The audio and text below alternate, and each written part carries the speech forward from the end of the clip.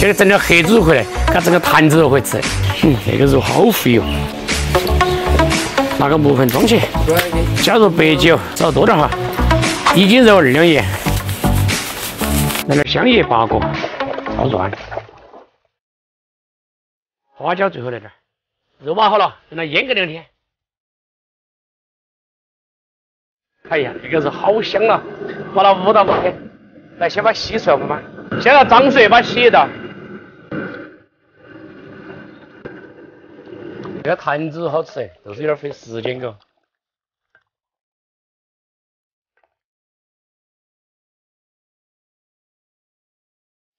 放点那个猪油来弄坛子。哎呀，我们先把猪油烧化。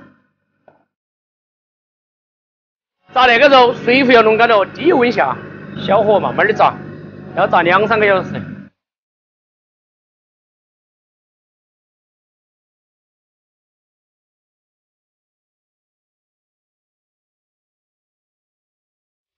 做坛子肉关键的步，火要小，油温低，恁个煮出坛子肉，那个皮子才不硬。坛子肉炸了将近两个小时，差不多了哟。来，给你们看哈。找了个坛子，来把它装起，先拿酒消个毒，加点干红花椒，那个香些。把肉打起来，装到坛子里面。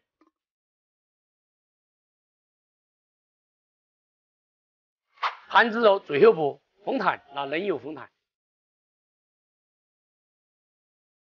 把剩下的猪油舀起来，干入重庆菜。